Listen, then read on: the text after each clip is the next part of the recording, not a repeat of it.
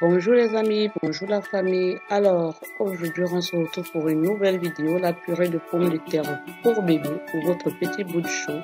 Alors, pour cela, vous aurez besoin de trois petites pommes ainsi que d'un œuf.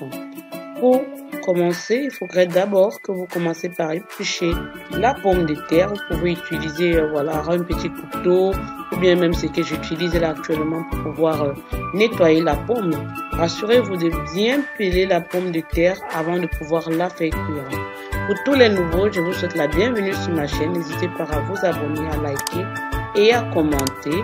Et pour tous les anciens, je suis content de vous revoir dans cette nouvelle vidéo.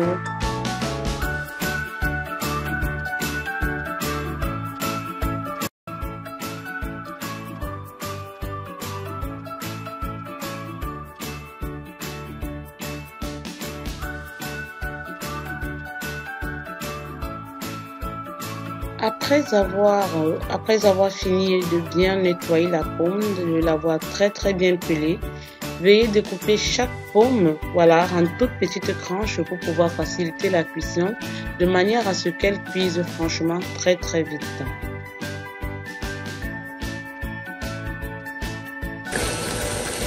Une fois que vous avez fini de découper euh, voilà, la pomme et que voilà, l'œuf est déjà prêt, Mettez ensuite voilà la pomme euh, dans une casserole ou dans une marmite, ce que vous avez à la maison pour faire cuire de la nourriture, et ajoutez un tout petit peu d'eau et ensuite euh, posez-la au feu et laissez reposer pendant 10 minutes.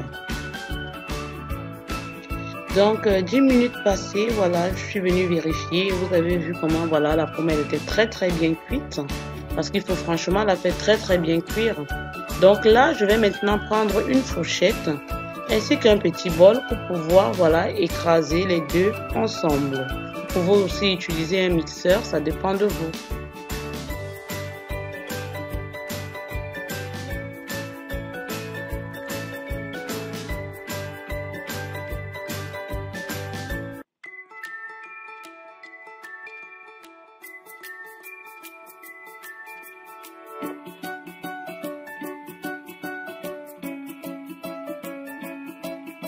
Du coup, euh, voilà les amis, après avoir bien écrasé la pomme un peu avec euh, la fourchette, vous aurez besoin de retirer le jaune d'œuf parce que c'est ça que vous allez utiliser pour pouvoir faire voilà la purée de bébé avec. Et puis, et euh, j'ai oublié de vous dire, mais pour ceux qui veulent, ils peuvent bien augmenter de l'eau en appuyant ou bien en écrasant ou bien aussi augmenter un tout petit peu de lait, voilà, que ce soit peut-être beaucoup plus liquide pour votre tout petit